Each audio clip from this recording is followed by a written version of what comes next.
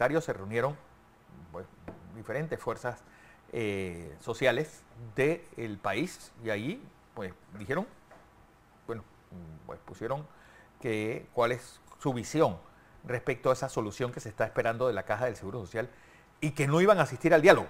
Fue lo que se entendió. Don Héctor, bienvenido y buenos días. Buenos días. Bueno, gracias Fernando por la oportunidad, Birda, y a todos los televidentes que nos ven y nos van a escuchar por las distintas redes sociales. En primer lugar, eh, el movimiento popular obviamente estuvo reunido en un encuentro de dirigentes convocado por la Alianza Pueblo Unido por la Vida, donde convergemos distintas organizaciones del movimiento popular. Ahí estábamos debatiendo, discutiendo sobre el tema del seguro social frente al planteamiento del presidente de la República de ver eh, dentro de su agenda de gobierno el tema del seguro social y frente a ese tema, pues el movimiento popular ha venido discutiendo y ha venido debatiendo y tiene propuestas. ¿Qué se acordó allí y por qué surgió esa información que posiblemente no se estarían sentando dentro de las mesas que se instalan esta mañana? Bueno, en primer lugar, el movimiento popular ha venido planteando que para discutir el tema del seguro social, que es un tema neurálgico del país, eh, se debe convocar un a un gran diálogo nacional con todos los actores representativos del país. Donde, Pero eso es lo que está haciendo el gobierno.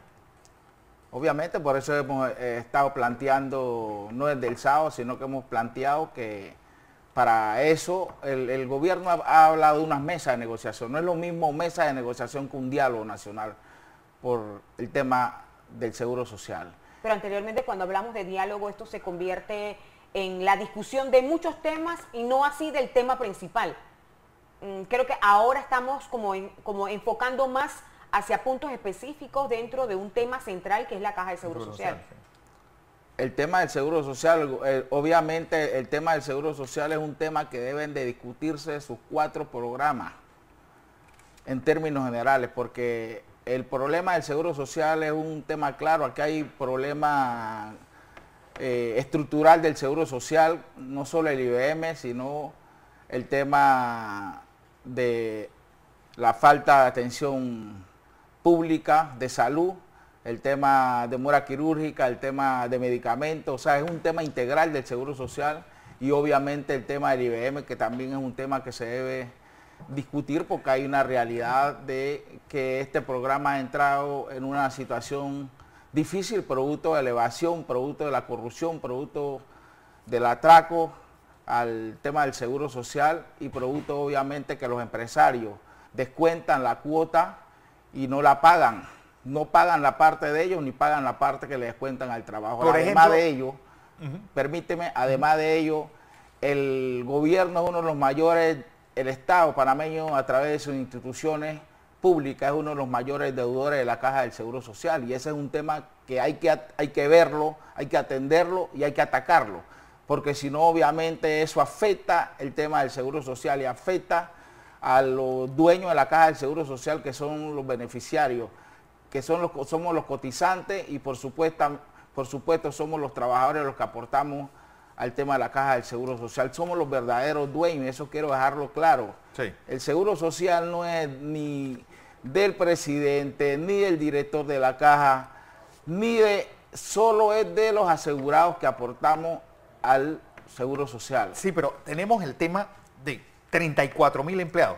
Todos los directores que han pasado dicen es que tengo extremada, una cantidad excesiva de empleados. Por ejemplo, ustedes estarían después, eh, eh, avalarían una reducción del tamaño de empleados dentro de la caja del Seguro Social para ser la más eficiente también. Bueno, eso es parte de lo que se tiene que discutir, eh, por eso estamos hablando de que hay que convocar a un diálogo franco, honesto, serio, responsable con todos los actores de la sociedad para poner todo sobre la mesa y en función de eso mirar lo que afecta a la caja del Seguro Social y poder de ahí en adelante establecer una política pública. Por ejemplo, se está invitando a las dos centrales sindicales, a CONATO y a CONUSI.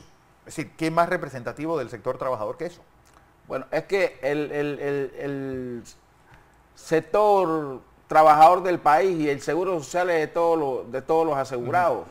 y no solo está representado con un psiconato, ahí están los educadores, ahí están los estudiantes, ahí está la población trabajadora panameña, que aprovecho a decir, los jóvenes hoy son uno de los sectores más eh, golpeados producto del desempleo y por eso hemos hablado que para ver el tema del seguro social hay que establecer una política. Para hablar del seguro social hay que discutir temas fundamentales como el desempleo, que es un tema que afecta directamente a los panameños y que hoy es una realidad. ¿Por qué Frenades en estos momentos entonces está dudando de que se vayan a dar eh, resultados positivos dentro de estas mesas? Los antecedentes ya nos han dicho, Virna, muchos temas. Aquí los distintos gobiernos han convocado eh, a diálogos de yo con yo, como decimos en buen panameño, y finalmente le han impuesto medidas a los trabajadores que no eh, les permite obviamente tener una pensión de calidad y una pensión digna para las presentes y futuras generaciones. Y eso es lo que aspiramos los trabajadores, los, los cotizantes de la Caja del Seguro Social, que realmente se discuta ampliamente la problemática del Seguro Social y que sentemos las bases para que la población panameña pueda tener pensiones dignas y además de ello eh, una atención de salud de calidad. si les invitan, es decir, por lo que está diciendo Jorge Ortega, con, UCI, con UCI va a ir a la, formalmente quiero decir que el 10 de septiembre, el 10 de septiembre del presente año llegó una nota de presidencia con UCI invitándolo en el día de hoy 16 para que asistieran a, un, la convocatoria que está haciendo el, gobierno a través del presidente de la República. Y obviamente con UCI va a ir hoy y va a ver qué de qué tema se va a hablar, porque hay que sentar las bases, como decimos, para un verdadero diálogo nacional que le brinde a la población asegurada, a los trabajadores, un sistema de pensión digna para poder vivir dignamente una vez salga el sistema y obviamente que también garantice un sistema de salud que le pueda brindar calidad de atención pública a los asegurados. ¿Qué pasa? Porque dice, bueno, ¿quién realmente tiene esa representatividad? Ustedes, por ejemplo, han ido a elecciones y han sacado 2%. Eso dice, bueno, ¿qué representatividad tienen estos grupos de izquierda que ni siquiera han llegado al 5% de la representación, por ejemplo. Es decir, ¿quién garantiza que los grupos que, se van a ir a este diálogo posean realmente la representatividad que, uno, que, dicen representar? Los sectores trabajadores eh, estamos eh, representativamente hablando, eh, lo hemos visto con claridad que para ver este tema, obviamente, por eso estamos diciendo que hay que convocar un gran diálogo nacional. Y no es un problema de izquierda o derecha. Sí. No es un problema, Fernando, de izquierda o derecha, es una realidad que vive el país. Bueno, es que los políticos dicen, es que yo voy a unas elecciones, saco el 10 o el 20 o el 30 o el 50% de los votos. Y eso, es decir, la gente está me está dando una representatividad. Sí, pero ¿cómo lo sacas? ¿Cómo lo sacas? ¿Con clientelismo electoral? Eh, esa es la realidad, que cuando se convoca a los panameños a panameñas frente a la, al agobio que vive el pueblo panameño, frente a, que no hay política de empleo, que no hay política pública de empleo con salarios dignos, que no hay política de salud, que no hay política de atención médica. Eh, los convocan cada cinco años al pueblo panameño a un carnaval electorero y obviamente en función de que los panameños vayan a la urna en función de un clientelismo electoral. Entonces, no, este tema es un tema que hay que, eh, sí creemos en la democracia, creemos que eh, en la, democracia participativa, pero con, con igualdad de condiciones, porque no es un problema de, izquierda o derecha, como te, te, digo, sino que es un problema de que aquí cuando se convocan unas elecciones, el poder económico con toda su maquinaria, sus medios de comunicación y el clientelismo electoral, e inclusive ¿Quiénes son beneficiados con el subsidio del Estado que de todos los panameños? Los grandes partidos políticos tradicionales. Mm. Y eso quedó evidenciado no solo en esta elección, sino que ha quedado evidenciado en todas las elecciones eh, de más de 35 años de la vida republicana del país. Pero ahora estamos hablando de la Caja de Seguro Social, señor Hurtado. Entonces, eh, para, en conclusión, ¿hay una disposición de los sectores, por ejemplo, los que están aglutinados en, en eso, de participar, de aportar y de que al final, con tan solo, porque lo que se cuenta actualmente es de un mes y medio para sentarse, para aportar, analizar y presentar a la Asamblea. ¿Se cuenta con la disposición de esta agrupación? El movimiento popular panameño, el movimiento trabajador siempre ha estado dispuesto y disponible al diálogo, no solo en este tema de la Caja del Seguro Social, que a nuestro juicio es uno de los temas más importantes del país, porque se trata de ver, de garantizar pensiones dignas a los asegurados, a los asegurados, las presentes y futuras generaciones, además atender el tema de salud, que es lo más importante para un ser humano. Con relación a este tema de la caja del Seguro Social, nosotros tenemos propuestas. Lo hemos dicho, lo hemos dicho con anterioridad en reuniones donde hemos participado, hemos, hemos presentado el tema de la ley de la vida que presentamos en la reforma del 2005, cuando se reformó el decreto a ley 14, que generó el tema de la ley 17, que denominamos ley de la muerte, porque nos planteaban prácticamente condiciones inhumana, inalcanzable de aumento de edad, aumento de cuotas y por supuesto disminución de pensiones. Desde allí hemos presentado propuestas.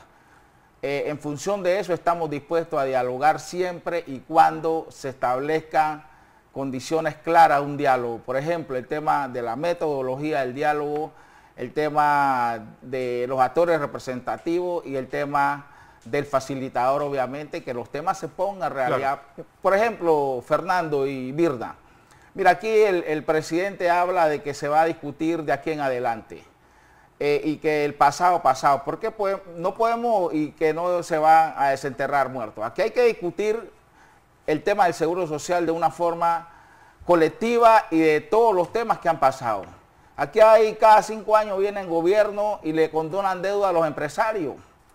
Es un problema de corrupción, ese tema hay que discutirlo. Y la evasión hay que discutirla, hay que enfrentarla.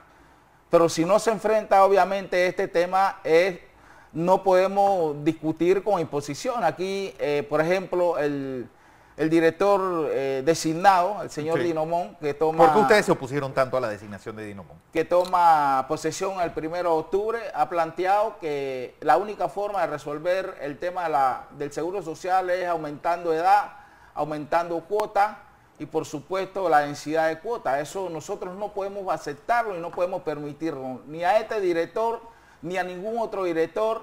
Y obviamente, eh, ¿por qué? Porque eso es inalcanzable. En este país eh, no hay estabilidad laboral. Los trabajadores no vamos a poder cumplir con ese requisito.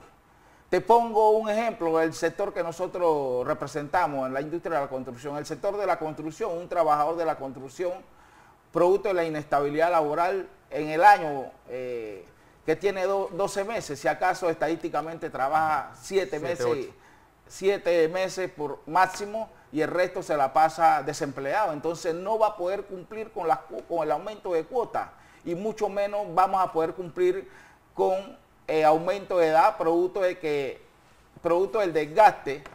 Obviamente em, eh, los empresarios no le dan trabajo al, valga la redundancia al trabajador cuando llega a una cierta edad porque se ve disminuida su capacidad producto del desgaste, producto del esfuerzo, producto de todos los problemas de la del trabajo. Entonces es un tema que Pero, es por ejemplo, y obviamente no podemos aceptar imposiciones y por eso hemos dicho que queremos un diálogo franco, honesto y serio. El sábado presentaron alguna propuesta.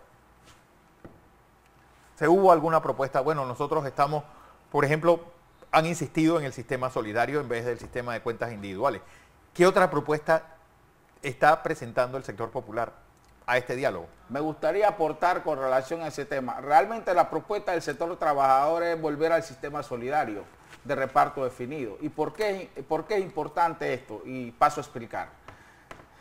En el mundo, los sistemas privados han demostrado un fracaso realmente. Sí. Eh, y me voy a centrar en América Latina. En América Latina, eh, según los sistemas privados hay pensiones del 17% en base a la realidad de cada país del, promedio, del salario promedio.